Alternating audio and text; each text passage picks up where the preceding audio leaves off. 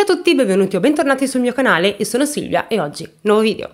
Vi ricordo che se avete piacere potete anche seguirmi su Instagram, ma soprattutto vi ricordo anche che sono attiva su Facebook, trovate il link nell'info box. Detto questo, andiamoci dentro col video.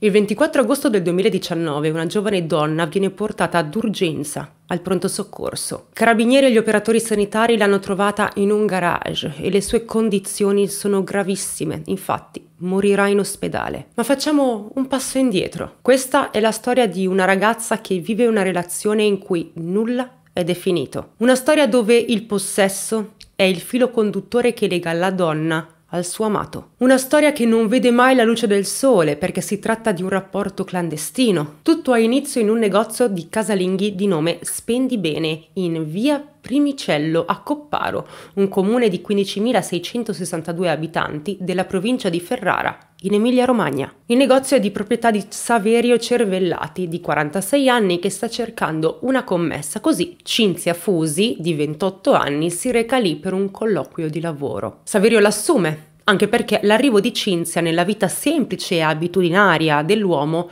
è come un fulmine a ciel sereno. Tra i due ci sono 18 anni di differenza, ma Saverio è subito conquistato da lei. Ma chi è Cinzia?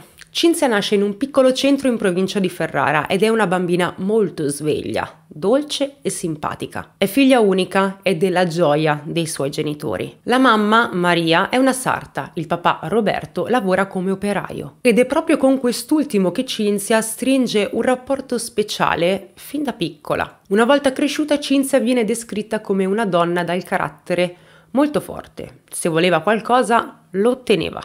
Sembrava non avesse paura di nulla. Cinzia è una persona molto riservata e a volte non si apre neanche con le amiche, ma con i suoi genitori continua ad avere un rapporto speciale, a coltivare un legame quasi simbiotico che la porta a essere molto presente anche in età adulta. Il suo mondo è la sua casa, lei ama stare con i genitori, parlare con loro. L'educazione con cui è cresciuta ha generato la sua predisposizione ad accudirli e la rende in generale una persona empatica, disponibile e premurosa. Il legame di Cinzia con i genitori influenza anche la sua vita sentimentale, tanto che pur di non lasciarli soli decide di interrompere la relazione con il suo fidanzato storico. Nella vita di Cinzia c'è anche una cagnolina di nome Chloe. Dunque, la madre, il padre e Chloe rappresentano per Cinzia una bolla rassicurante. La ragazza abita a Cologna, una frazione di Berra, in provincia di Ferrara. Tornando a Saverio, lui è molto riservato e introverso. È sposato da vent'anni con Mina e la coppia ha due figli.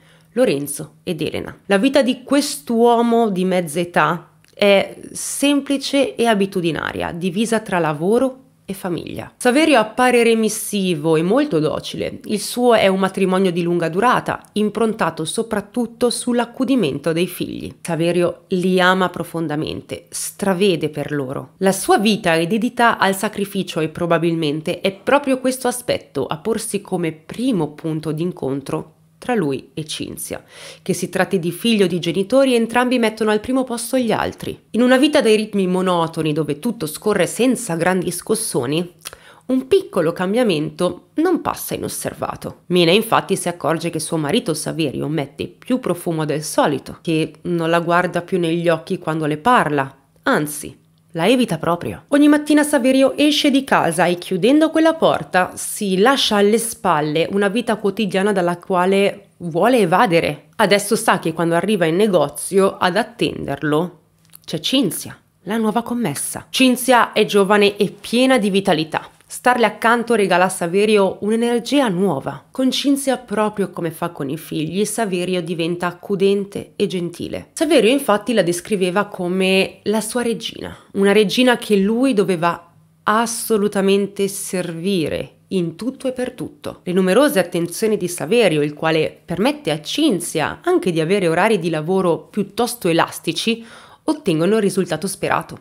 La ragazza infatti si lega molto a lui. Per Saverio Cinzia è la donna perfetta. Per Cinzia invece quell'uomo più grande di lei di quasi vent'anni rappresenta un porto sicuro e la persona premurosa a cui confidare le difficoltà della vita. Presto il loro legame assume i caratteri di una relazione simbiotica, in un certo senso asfittica, perché è relegata al piccolo ambiente in cui si consuma. Saverio e Cinzia infatti vivono il loro amore nello spazio angusto di un negozio di casalinghi, al riparo da sguardi indiscreti e dai mormori della gente del paese. Cinzia non racconta ai genitori della storia con Saverio, non se la sente di confessare che frequenta un uomo sposato, anche perché sa che suo padre non lo avrebbe mai accettato in casa. Cinzia di conseguenza inventa tantissime scuse, dice ai suoi genitori che esce con delle amiche, che va al mare, ma in realtà è sempre insieme a lui. Lo stato di segretezza di questa relazione viene alimentato da entrambi nel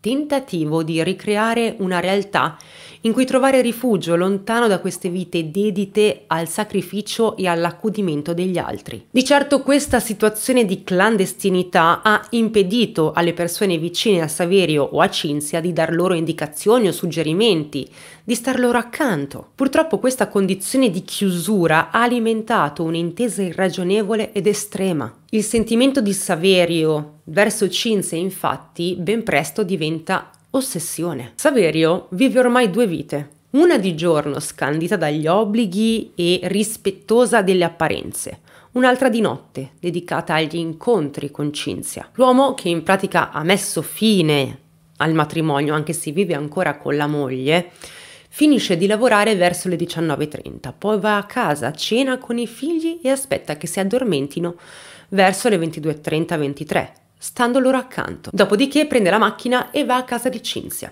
Saverio, pur di incontrare la donna che ama, è disposto a correre qualsiasi rischio. Cinzia di notte lo accoglie nel giardino di casa e lo fa arrampicare fino ad arrivare alla sua finestra. Lo fa entrare nella propria camera e i suoi genitori non si accorgono di nulla. La mattina, alle prime luci dell'alba, dopo aver trascorso qualche ora con Cinzia, Saverio torna alla sua realtà. Riparte in macchina e torna a casa sua perché suo figlio, quando si sveglia, lo deve vedere. Saverio si occupa di organizzare la colazione, lo aiuta a prepararsi e poi torna al lavoro dove ad attenderlo c'è di nuovo Cinzia. Questa è la routine che la coppia porta avanti per sei anni. Saverio per tutto questo tempo dorme al massimo circa quattro ore a notte. Io credo che un ritmo così stancante, protratto tanto a lungo, l'abbia letteralmente sfinito anche dal punto di vista psicologico. Come già detto, Saverio e Cinzia vivono il loro amore isolati, chiusi in un'ampolla in cui non c'è spazio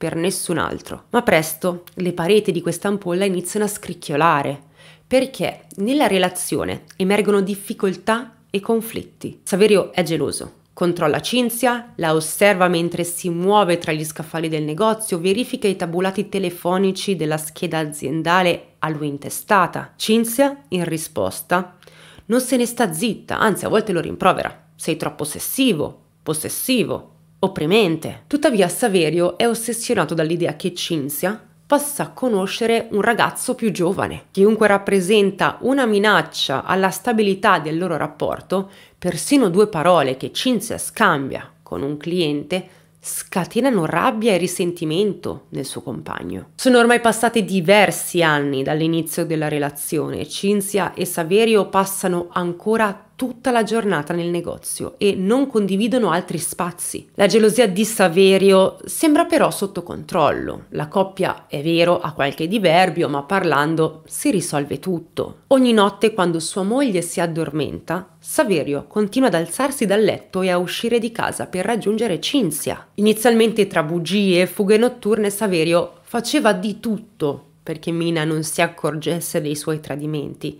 ma quest'ultima, che di certo non è stupida, se ne era resa conto e come. Mina aveva provato più volte a seguire Saverio, ma lo aveva sempre perso di vista. Non riusciva a capire dove fosse diretto, ma intuiva perfettamente la situazione. Suo marito la stava tradendo. Finché una volta Saverio, rientrato a casa di mattina, aveva trovato un biglietto di Mina in bella vista nella cucina, con scritto Tanti indizi fanno una prova, dimmi la verità. È un'altra donna? Saverio ora sapeva che il castello di menzogne costruito per anni era crollato. Aveva affrontato sua moglie chiedendole il significato di quel biglietto. Mina gli aveva chiesto semplicemente di essere sincero per una volta, sottolineando che era consapevole del fatto che lui si alzasse ogni notte per andare dall'amante. Saverio si arrampica sugli specchi, dando spiegazioni poco plausibili, dicendo che si allontanava di notte per questioni di lavoro, come scaricare la merce. Mina però sapeva di ascoltare delle grandissime balle, pure poco realistiche. Alla fine il marito era crollato, ammettendo che sì, c'era un'altra donna nella sua vita, ma negava che si trattasse di Cinzia, menzionando piuttosto una certa Chiara. Mina però sospettava da sempre che l'amante di Saverio fosse proprio la commessa del suo negozio. Saverio a questo punto aveva recuperato alcune cose ed era andato a dormire in uno sgabuzzino nella sua bottega. Però aveva preso una decisione, evitare di tagliare del tutto i contatti con sua moglie, così come con Cinzia. Saverio, come detto, continua a tornare a casa per stare vicino ai figli e inevitabilmente vede anche sua moglie Mina. La donna però una sera insiste per capire se l'amante del marito sia Cinzia e non la ragazza di nome Chiara, di cui lui le aveva parlato. Basta poco a Mina per avere conferma dei suoi sospetti e quella sera, tra le due donne, nasce una discussione. Mina urla, si infuria, poi se ne va e Saverio la segue. Cinzia si ritrova così da sola e capisce che forse Saverio non diventerà mai il suo compagno ufficialmente. Quando per anni sei l'altra donna, cioè l'amante, ti abitui a startene nascosta in attesa che si compia la promessa per cui prima o poi uscirai dall'ombra. Ti abitui a trascorrere il Natale sempre da sola e il fine settimana aspettando una telefonata che non arriva. Quando sei l'altra donna di un uomo vivi con la speranza che presto o tardi sarete una coppia che si mostra alla luce del sole. Quella sera però in Cinzia sopraggiunge una consapevolezza. Ha impiegato male interi anni di vita e i suoi sentimenti. Non ha fatto la scelta giusta, riflettendoci da inescandescenze e rompendo parecchi articoli presenti in negozio. Quando Saverio ritorna, i due hanno un violento litigio. L'uomo non vuole abbandonare la sua famiglia soprattutto i suoi figli. Saverio, rimasto da solo, cerca di rimettere insieme i cocci in frantumi della sua vita. Dopo questo episodio il rapporto tra Cinzia e Saverio attraversa una crisi profonda. Cinzia, per la prima volta in sei anni, guarda in faccia alla realtà e capisce che il suo legame con Saverio non ha futuro. Così si guarda intorno e si accorge che tutti questi anni di relazione con quell'uomo le hanno lasciato attorno il deserto. Cinzia glielo dice, gli rinfaccia che stare con lui le ha fatto perdere i rapporti con tutti. Sente che questo è il momento di cambiare strada. Vuole ripartire, rincominciare. Cinzia man mano riconquista il suo spazio di libertà. Ma non è facile farlo, perché continua a lavorare nel negozio di casalinghi, dove incontra Saverio tutti i giorni. Nelle settimane successive alla rottura, Cinzia allarga le sue amicizie e tramite i social network conosce un altro uomo. Nel tempo lo sguardo di Cinzia su Saverio cambia. L'uomo ora le appare severo, controllante e giudicante. Infatti la sua reazione non si fa attendere. Dopo la decisione di Cinzia di troncare il rapporto sentimentale, Saverio esercita su di lei un controllo ancora più invadente e ossessivo. Saverio, che ha perso tutto, non vuole perdere anche Cinzia, la donna per cui ha messo in crisi il rapporto con sua moglie e la sua famiglia. Inoltre non sopporta l'idea che nella vita di Cinzia ci sia spazio per altre persone, non riesce ad accettare che lei possa ricrearsi un futuro dopo aver chiuso con lui. Iniziano sei mesi di fuoco in cui il controllo messo in atto da Saverio su Cinzia si estende anche ai social network. Lacerato dal pensiero che lei abbia conosciuto un altro uomo, Saverio si infiltra nei profili di Cinzia, di cui conosce le password. Poi fa una ricerca per capire come riuscire a leggere i messaggi del cellulare aziendale, cioè quello che Cinzia usa per lavoro. Arriviamo all'agosto del 2019, Saverio ha 52 anni e Cinzia 34. In quel periodo il rapporto tra i due è sempre più teso. Lui, come detto, la controlla costantemente attraverso le piattaforme social e sa tutto di lei, con chi ha fatto amicizia e con chi esce. Al contrario, Saverio è sempre più ripiegato su se stesso, pieno di rabbia. C'è un solo pensiero fisso rivolto a Cinzia che tormenta le sue giornate. Io per te ho rinunciato alla mia famiglia. E tu? A cosa hai rinunciato tu per me? Tu non puoi lasciarmi dopo che io ho lasciato tutto per te. Cinzia si trova in una situazione difficile, siccome ha bisogno dello stipendio, continua a lavorare nel negozio di Saverio, ma questa vicinanza forzata non fa altro che alimentare il risentimento tra i due. Saverio quindi l'affronta dicendole che sa che lei è uscita con un altro uomo. Cinzia non crede di dover tenere nascosta questa frequentazione, quindi risponde sì Sto uscendo con un altro uomo. Saverio a questo punto le mette le mani addosso, tirandole due schiaffi. Lei reagisce graffiandolo in viso. Lui esce dal negozio, si precipita verso una macchina e chiede aiuto, dicendo esattamente Aiuto, chiamate i carabinieri. Fermatemi. In quella macchina c'è una donna che accorre verso il negozio e, appena vede Cinzia, capisce che la situazione è delicata. Decide così di non lasciarla sola, bensì di aiutarla. Su un foglietto le scrive il numero utile per contattare il centro antiviolenza più vicino, ossia il 1522. Le chiede in disparte se è il caso di chiamare i carabinieri e le lascia il suo numero di telefono, dicendole di contattarla in caso di bisogno. Ma Cinzia non sembra percepire la gravità della situazione.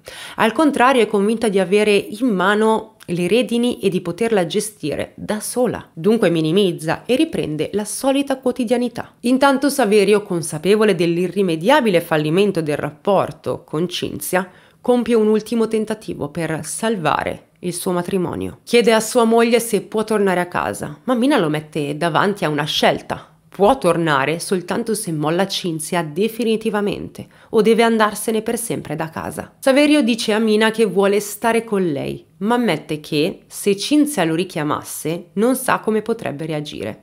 Forse tornerebbe da lei. Dinanzi a questa risposta la moglie sigla irrevocabilmente la loro relazione con la parola Basta. Inoltre in questo periodo Saverio ha problemi anche dal punto di vista economico. Nei pressi del suo negozio sono state avviate attività commerciali simili che gli sottraggono una grossa fetta di clienti. Saverio usufruisce del recupero crediti, richiede prestiti ai propri familiari e si ritrova con un ammontare di debiti dal valore di 200.000 euro. Ormai è sempre più convinto di aver perso tutto, di non avere più niente. Non ha più la sua famiglia, non ha più i suoi buoni introiti lavorativi, ma al contrario ha pochi soldi, per cui inizia a non pagare più lo stipendio a Cinzia con cadenza mensile. È afflitto dal fallimento della sua attività e dall'indebitamento che, in effetti, implicano un forte crollo dell'autostima di un uomo e di un padre. Vorrebbe quantomeno riabilitare se stesso nella relazione con Cinzia. In altre parole, la sua unica fonte di riscatto e dignità dinanzi alla moglie e ai figli dipende dalla ripresa di questa storia. Soltanto provando che era una relazione seria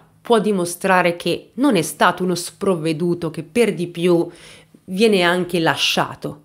Questo obiettivo fa maturare in lui una rabbia ossessiva. È il 23 agosto del 2019. Cinzia trascorre la serata a casa con i suoi genitori. È un momento sereno e felice. La mattina del 24 agosto 2019, verso le 5.20, Cinzia è già fuori per una passeggiata con la cagnolina, quando Saverio le manda un messaggio. Buongiorno, ti voglio bene. Andiamo al mare? Cinzia accetta. Verso le sette si reca il garage situato accanto alla bottega. La donna sa che Saverio in questo periodo è molto solo. Tra la situazione economica difficile e la chiusura della loro storia, sta passando proprio un brutto momento. Però, secondo quanto ricostruito durante il processo, Saverio non ha trascorso la notte preoccupandosi per i suoi debiti, bensì controllando tutti i profili social di Cinzia. Mentre la donna carica in macchina le sue cose per andare al mare, gli chiede se possono rientrare al massimo per le 17 perché deve uscire con delle amiche. Saverio a questo punto vuole vedere il suo cellulare, ma Cinzia gli dice di no. Lui insiste, ma lei è irremovibile. Scoppia così una lite furiosa. Saverio è convinto che Cinzia non abbia in programma di uscire con delle amiche, ma con un uomo. Cinzia ribatte che a lui non deve interessare ciò che lei fa con gli altri, loro due non stanno più insieme. In ogni caso, quella sera la ragazza deve davvero incontrare delle amiche. Saverio ritiene che Cinzia stia mentendo perché ha trascorso tutta la notte ispezionando i suoi profili social e sa che c'è un uomo nella sua vita. Secondo lui la donna insiste tanto per tornare a casa prima perché in serata vuole uscire con lui perché ci tiene e per lei è importante. Saverio si allontana un attimo mentre Cinzia è ancora occupata a caricare le sue cose nel bagagliaio. Poi la colpisce alla testa da dietro, utilizzando un mattarello preso dal garage. Dopo aver aggredito Cinzia, che è ancora viva, Saverio accende l'autoradio e ascolta quella che era la loro canzone preferita. Cinzia nel frattempo si lamenta. Allora l'uomo prende un fazzoletto e glielo infila nella bocca, così da non sentirla più. In questo preciso istante Saverio vuole fingere che non sia successo nulla. Questo è un comportamento crudele che manifesta il suo desiderio che Cinzia morisse. Nel garage, mentre Cinzia è a terra, priva di sensi, ma ancora viva, Saverio si ripulisce eliminando ogni traccia di sangue. Sono ormai le 8 del mattino e l'uomo butta via i vestiti macchiati. Poi fa una telefonata a sua sorella. Non le racconta quello che ha fatto, ma parla del tempo e dei suoi debiti. Subito dopo va in ufficio e cancella dal computer centinaia di cartelle contenenti le foto di Cinzia, un gesto nel quale gli inquirenti leggono la volontà dell'eliminazione totale della vittima, non soltanto fisica ma anche virtuale. Saverio continua ad aggirarsi indisturbato nel luogo del delitto, poi, con lucidità e freddezza, manda un messaggio a sua moglie le chiede perdono e le confessa di aver ucciso Cinzia, la sua amante. Secondo la sentenza, Saverio quella mattina inizia a progettare l'occultamento del cadavere, fino a quando un fatto inaspettato lo distoglie dal suo intento. Davanti al garage passa per caso una pattuglia dei carabinieri.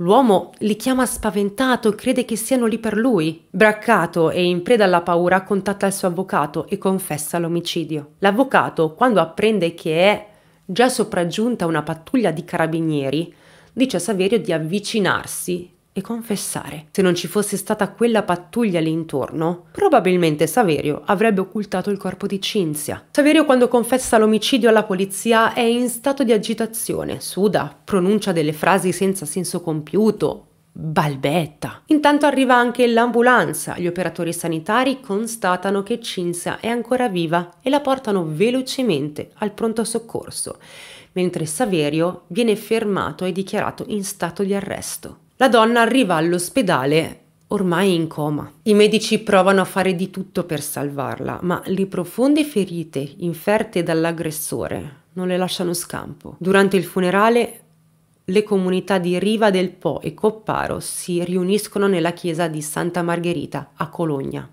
per rendere l'ultimo saluto a Cinzia Fusi. Il rito viene concelebrato da Don Francesco Pio Morcavallo, parroco di Cologna, assistito da Don Daniele Panzeri e da Don Leonardo Bacelle. Don Morcavallo, nel corso dell'omelia, ricorda che gli esseri umani siano assetati di amore. E per la propria sete di amore Cinzia ha vissuto la storia con un uomo che l'ha condotta alla morte. Poi invita le comunità a stare accanto ai genitori e ai parenti di Cinzia in questo drammatico momento. Per il padre Roberto e la madre Maria, Cinzia era tutto e oggi, più che mai, hanno bisogno che tutti stiano loro accanto. Prima delle esequie, i sindaci Andrea Zamboni di Riva del Po e Fabrizio Pagnoni di Copparo, oltre ai militari della Compagnia dei Carabinieri di Copparo, stringono in un forte abbraccio Maria e Roberto, rappresentando il cordoglio di tutti i cittadini dei due territori, ancora scossi per quanto accaduto. Dopo le esequie, la salma della 34enne tra le lacrime dei presenti viene accompagnata verso il cimitero del paese per l'ultimo saluto anche se il ricordo della ragazza riservata, gentile e altruista che era Cinzia rimarrà nel cuore di tanti, per sempre. Per quanto concerne il suo assassino, viene recuperato il mattarello, usato come arma del delitto, e vengono ascoltate molte persone informate sui fatti. Non emergono troppi dubbi sul movente, tutto è scaturito dalla gelosia di Saverio Cervellati. Saverio dunque viene sottoposto a diversi interrogatori, ma racconta sempre una verità parziale. Dice che è Cinzia quella che l'ha aggredito col Mattarello. Lui ha soltanto tentato di difendersi. Sostiene di aver avuto dei blackout, per cui non ricorda esattamente come avesse colpito Cinzia. Quindi l'uomo non dà la possibilità agli inquirenti di ricostruire integralmente l'aggressione. Il pubblico ministero non riesce, basandosi unicamente sulla confessione di Saverio, a far luce su tre aspetti fondamentali. Il movente,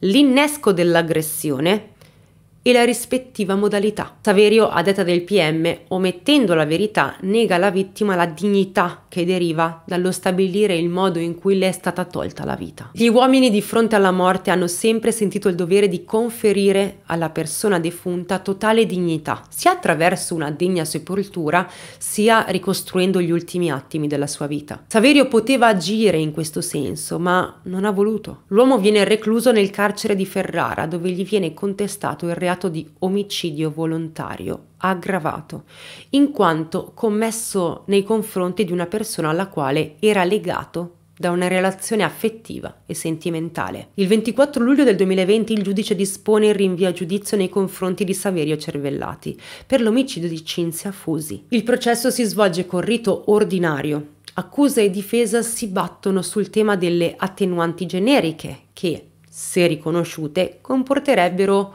un possibile sconto della pena. Nella sentenza di primo grado il Tribunale di Ferrara sostiene che Saverio non merita alcuna attenuante per tre motivi. Il primo è che non ha mai fornito un'ampia e leale collaborazione. Il secondo è che non ha mai dato prova di aver capito l'estremo disvalore del fatto commesso. Il terzo è che non ha mai mostrato alcun segno di pentimento. Saverio ha mentito su molti aspetti della vicenda, allo scopo di mitigare le proprie responsabilità. Il 19 ottobre 2020 il tribunale lo condanna alla pena dell'ergastolo. Questa è la prima sentenza di femminicidio aggravato dalla relazione affettiva. Si tratta di una delle prime sentenze definitive di condanne all'ergastolo dopo la modifica normativa del codice rosso, introdotta proprio nel 2019 con l'aggravante legata alla relazione affettiva tra omicidio e vittima, che è stata sufficiente per infliggere il massimo della pena. Prima della sentenza della Cassazione, i legali di Cervellati hanno chiesto la riduzione della pena per attenuanti generiche legate proprio al rapporto sentimentale che avevano omicida e vittima, ma la Corte Suprema ha respinto l'appello. Nel 2022 la Cassazione conferma in via definitiva la massima pena per Saverio Cervellati, cioè l'ergastolo. Detto questo, io ho finito di parlare in questo video. Fatemi sapere cosa ne pensate di questo caso e soprattutto della sentenza. Io sono parecchio contenta di questa sentenza e voglio sapere anche la vostra opinione, quindi come al solito ci becchiamo nei commenti qua sotto. Io nel frattempo vi mando un bacione, noi ci vediamo prestissimo al prossimo video. Mi raccomando, fate i bravi, continuate a mangiare le verdure che continuano a far bene, ma soprattutto prendetevi cura di voi e fate ciò che vi rende felici. Basta che non facciate nulla di criminale. Ciao a tutti!